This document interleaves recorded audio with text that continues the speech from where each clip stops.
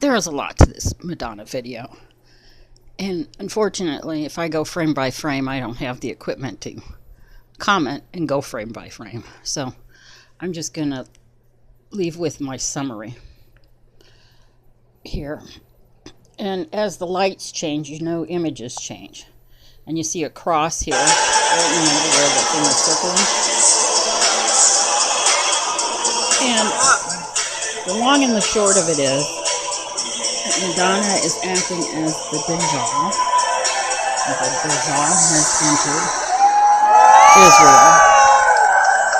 Some may think that's a bad thing. Now remember, the Dajjal in some scholars' opinion, um, eats the flesh of evil. So hopefully that is a correct interpretation of this the Dajjal creature. I think the West calls it more like an antichrist. And the Nutcracker suite here that she, who knows if she got permission to use or not, something to think about is a reference to defiling children's minds and bodies.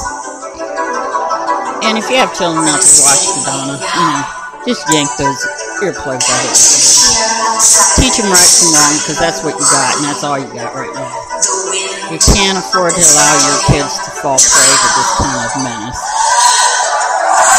And this is something Israel has been waiting for, is the Dajjal to enter they believe that, that once it's done in Israel, it's going to go to New York and take its throne, which was the reason they resurrected Baal. But that's not going to happen because they're two different entities. Uh, Baal or Baal is a uh, Jew Canaanite god in the past that openly sacrificed the firstborn male. And if the firstborn male wasn't available, they sacrificed the firstborn female. And what they do, and this proves that the Jews are the ones who had the servants, they decided to sacrifice their servants' children and not their own. So the wicked upon the wicked. And this whole ceremony that she performed basically is cursing Israel, which I'm sure is very welcoming to me. So look for a earthquake to hit Israel very, very soon. A big, devastating eight point or better. So, there you go.